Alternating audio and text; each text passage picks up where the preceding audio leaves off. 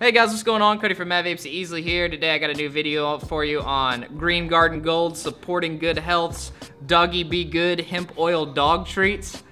Nutritious, delicious, and suspicious. They're not suspicious. Um, uh, basically the serving size is one treat. There's 70 in this container approximately. We sell them one a piece for $1.25, or if you buy five of them, it's $5. So good deal there. You're saving what, like a dollar, 50 cent?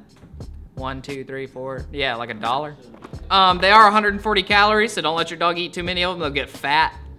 Uh, but they are, uh, they don't contain any kind of uh, GMOs. So um, basically what this is, is make your dog happy. Green Gardens Gold uh, great tasting all natural hemp oil dog biscuits are infused with high quality GMP certified hemp oil. Green Garden Gold dog biscuits are non-GMO, non-psychoactive, taste great and can be used as a daily supplement for your pet.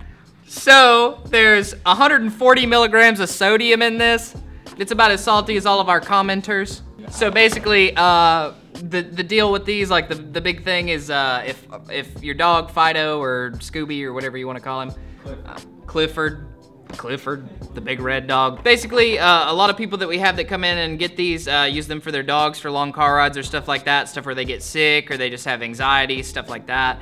Um, additionally, uh, dogs that just bark a lot. Um, we have a woman that has chihuahuas and she gets them for those dogs and uh, they stop yapping as much. Now, this isn't harmful to your dog or anything like that. It's completely natural, like we said. The only ingredients in this are like the whole wheat flour. It's got a bacon bouillon in it, um, some water, an egg, and then the hemp oil, of course. So really natural, really easy to just give them. I mean, it's a treat all on its own. With a smaller dog, I would probably give them about half of it. Other than that, that's really what I got for this video. If you have any questions or comments, feel free to leave them below, and we'll be sure to get back to you, all right? Peace.